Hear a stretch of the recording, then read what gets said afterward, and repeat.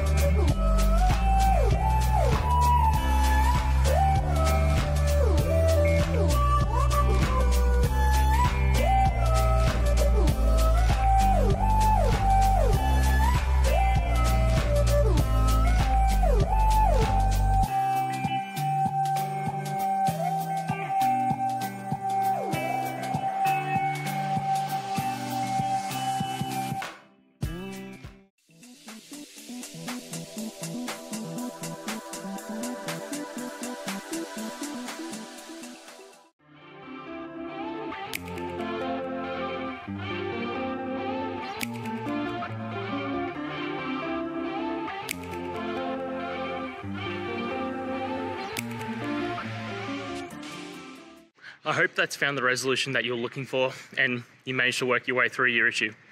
Please, if it did help, hit subscribe. I'd really appreciate it. And until the next technical time you need help, have a good one.